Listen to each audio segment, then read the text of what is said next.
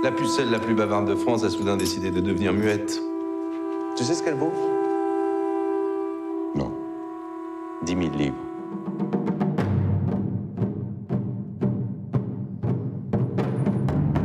Moi, Jeanne, misérable pécheresse, je confesse avoir été orgueilleuse en prétendant mieux m'entendre aux choses de la foi que des hommes d'église.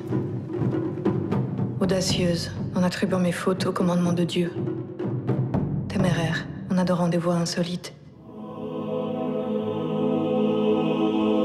Je jure et promets publiquement de ne jamais retomber en de telles erreurs ni en quelques autres hérésies. C'est pas très beau de se parjurer.